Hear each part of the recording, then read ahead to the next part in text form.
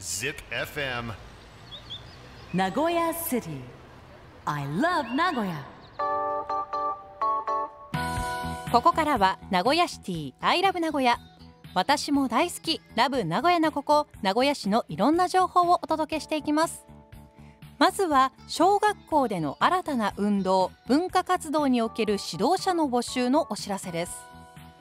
令和2年9月以降西区中村区熱田区港区南区森山区名東区天白区の8つの区の私立小学校133校においてこれまでの部活動を見直し民間委託による新たな運動文化活動を実施します。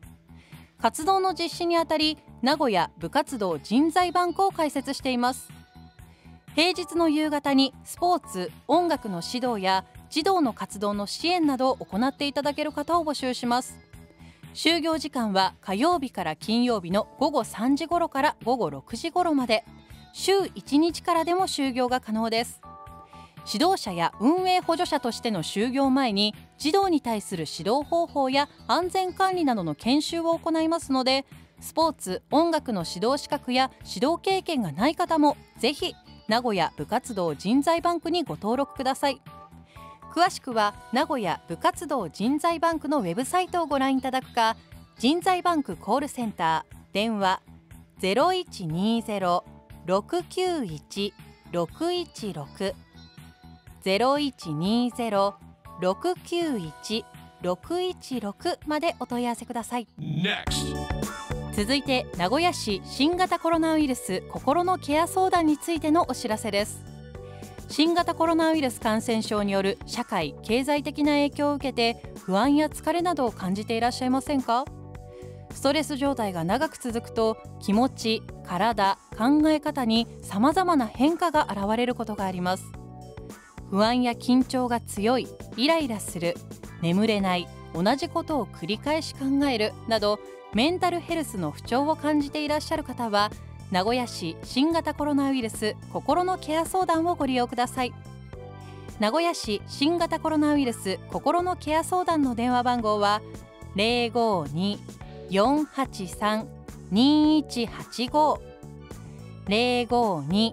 052-483-2185利用時間は祝日を除く月曜から金曜日の午前8時45分から正午。午後1時から午後5時。午後5時から午後10時は電話番号052-212-9780 052-212-9780で受け付けています。時間帯により電話番号が異なりますのでご注意ください。名古屋 City. I love 名古屋 Nagoya City Information ではここで秋の人権フェスタのお知らせです。9月27日日曜10月4日日曜10月10日土曜に秋の人権フェスタ映画会と体験学習を開催します。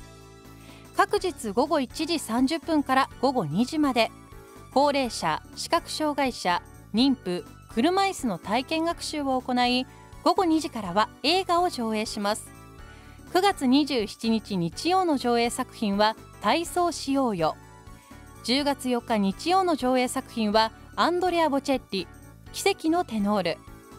10月10日土曜の上映作品はキキキリンを生きる。会場は中区栄1丁目伏見ライフプラザ12階ソレイユプラザ名古屋。定員は各日40名。参加費は無料。事前申し込みで9月18日金曜締め切りです。応募方法など詳しくはソレイユプラザ名古屋。電話052-684-7017 052-684-7017までお問い合わせください。